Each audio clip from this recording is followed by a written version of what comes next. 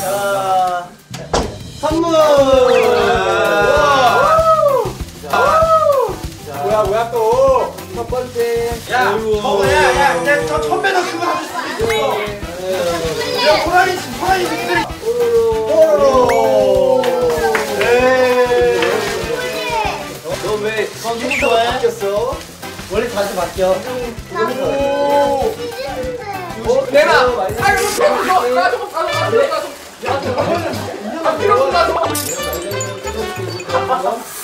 약속을 했는데 정말 그걸 기억을 할 줄 몰랐어요 사실. 비하인드 스토리인데 자꾸 몰래 물어봐요. 조용히 속삭이면서. 그래서 메모장에 써놨어요 핸드폰에. 알람처럼 매일 스케줄에 그게 써 있었어요. 유명 사기 자, 이제 말 잘 들을 거지? 좋아한다. 자, 자, 뽀, 뽀로로 깜짝이야.